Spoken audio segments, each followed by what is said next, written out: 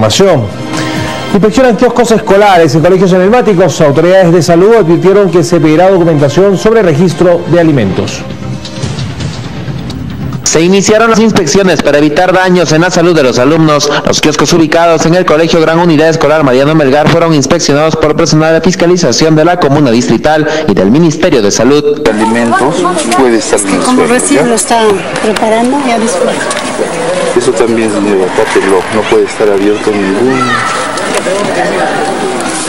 en el operativo inopinado también se tuvo la participación del Ministerio Público, Ministerio de Salud y la Policía Nacional, comprobándose el avance en la conservación de productos que consumen los estudiantes del emblemático colegio. Harinas, harinas preparadas. Harina.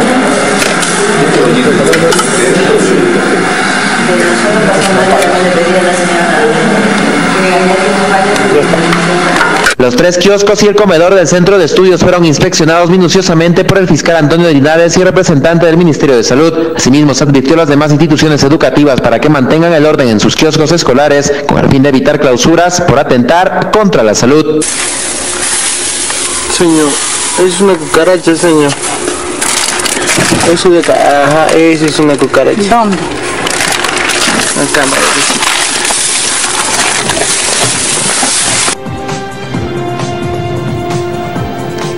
Terrible, una sorpresa, seguro que se encontrará en las siguientes inspecciones también.